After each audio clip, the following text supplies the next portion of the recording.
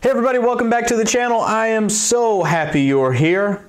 And if you are like me, you do many projects inside your house and outside of your house. And if you are like me, you typically carry something like this around. You have a bucket and it's got some tools in it and it's got some templates and it's got some supplies like screws and whatnot and everything else. And then before you know it, you're carrying around two, three buckets because you just have so much stuff, especially if you're outside. When I'm working outside, I have so much to do, and typically it's a big job on the exterior of my house. I need a work cart. This is not a typical work cart. Work cart. A typical work cart is something with hard uh, caster wheels, something you roll around on cement, maybe asphalt if you have nice rubber uh, wheels. I need something that goes on grass, goes over gravel, goes over snow if I need it to. And at that point, I realized I needed a monster cart and they don't sell one. So I went ahead, I did a quick little design of what I thought would be a good cart. And you'll see in that design that it's it's pretty much just a two layer cart, two level cart, you know, and some of the design aspects of it is that I really want to be able to take my cordless tools and have uh, an organized tool cart to where I can utilize the sides of the cart, I can utilize the top, I can put supplies on it, I can have a, a light on it, I can have a radio, I can do all these different things while staying very organized and I can do what I really need to do in order to get the job done and not have to keep pulling things out, putting things back in, searching through the bucket and stuff like that. That's just annoying, especially if you're going to take a tool bag and then a supply bucket and then your trash bucket and everything else. So what we're going to be going through today is how I built the monster cart. Just follow along, watch the video, you're going to see how I build it, and then uh, we'll circle back at the end.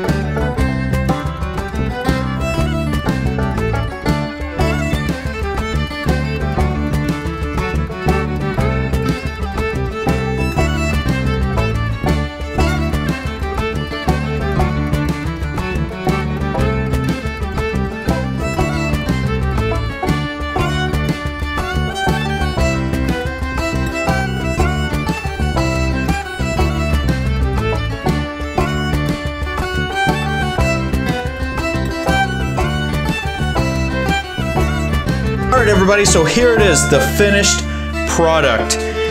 I gotta say, I think it turned out a little bit better than I expected. And uh, I hope it turned out a little bit better than you expected as well, especially from my Frankenstein sketches. So let's start from the bottom and we'll work our way all the way up.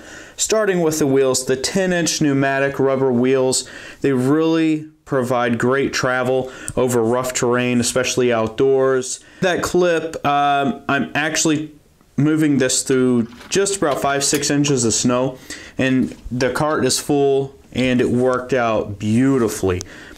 Uh, steering is pretty typical. You know, with a wagon, you can, you know, just pull it. It's better to pull it, not really push it. Um, and that works out. That works out fantastic. Okay, so as we move our way up, uh, you're going to notice that I have tools mounted all the way around the sides. And these are really nice. They slide on and off. You know, they hang. Whenever you have a typical tool cart, you're going to find that all your tools and things are laying on top of your supplies that you need. So this gets them off to the sides as much as possible. I built a little shelving system up here, and this is twofold, really. Um, I have all of them, and I built it to where it's deep enough to where it has a little lip. So they slide right in so they don't fall whenever you're uh, pulling the wagon or the work cart. And, um, you know, it's got a nice little lip on the top shelf here. Um, I also put a uh, lip there. And this is just really convenient. The great thing that about this cart is this top shelf is, is one of my, um, I think, best ideas for the entire cart. And the reason why is because with this light, wherever I'm working, the spotlight, I can just shine it down. It gives me a, a higher level of uh, visibility. And then as always, if I'm working and it's late outside, I can't see what I'm doing. And I, you know, we can turn this on. You know, better yet, just check out the clip.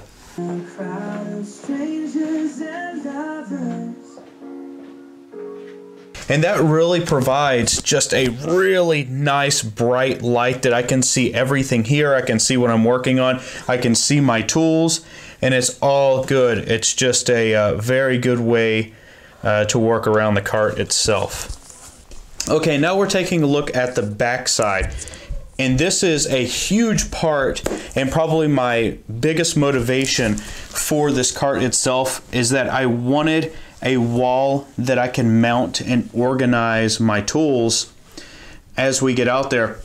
Like I said in the front, whenever you pile all your tools and crap on top of your supplies, it just makes the job that much harder. I'm trying to get away from that. With that being said, um, I was able to mount my chargers up top. Um, I have batteries that are mounted that I can see, and it's just really convenient. And I have a power strip here on the side that powers all my chargers, and, um, and that's why I could use the extension cords. But there is something else, and you saw it earlier, and that's the power pack. This will charge a, a, smaller battery. It won't charge all three of them, and that's to be expected, but with this power pack, the 40 volt, it will charge uh, some of the other batteries or it'll power a light, whatever I really need it to do. Uh, this is my last resort. It has a USB built in here too in case I need to charge my phone or something. Um, but really what this comes down to is it comes down to organization. And I, I can't say this enough that in order to have to be properly organized, you need things like mounts, you know, things like this. There's there's so many different ones, and I have the Craftsman platform, the Milwaukee platform, and the Ryobi platform, and you can see how these are sliding down. They actually latch up, you know, and they actually latch like they're in, you know, batteries and th this is extremely nice to have, whether it's in your shop or on a cart. And it's super helpful right here. You can see if you have a, uh, a belt clip, you can just hang there. This is cool. This is for um, Milwaukee. I hang a Milwaukee light here, but you know, it just it just hangs off. If you have M12, go here. I have M12 platform as well. And this is probably my favorite. Uh, so this is for the Ryobis, and you know they do have the stem. Um, or the battery pole, whatever you call it. You can switch it. Um, I like to have the drill facing this way, but it's easily, it comes on, goes off. It's great for storage. So guys, that was the biggest point of this entire project is to stay organized, to make sure that I have everything where I need it at any point in time. I'm not wasting a lot of time going through a bunch of supplies and losing stuff and getting frustrated. That's pretty much half my life losing things and misplacing things. So I'm really trying to make a big effort to uh, stop that. I think the same way for my shop. As you can see here, this is another way to organize. I don't do all my tools this way, but it, it's great for my local tools where I need them right above the workbench just to have them here. Uh, you know, I have a couple hanging up there. Um, and then, you know, this houses three batteries for Ryobi.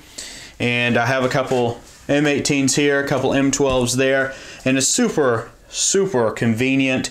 And it gets it, it gets it off of the work area once again, and you can see it. You can clearly see it where it's at, and that's super important for what you need to do. So you can get these mounts for almost every brand out there at uh, unpluggedmounts.com. I'll put the link in the description, but you really should check them out. Uh, the mounts have came very accurate, and for the different types of idiosyncrasies within, you know, designs, they do it all. So give them a shout out and check them out.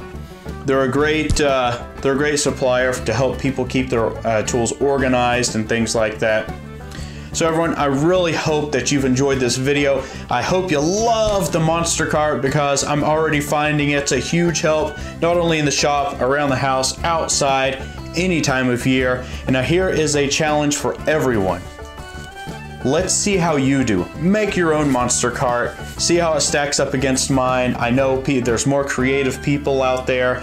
So let's get it going. I want to see your carts.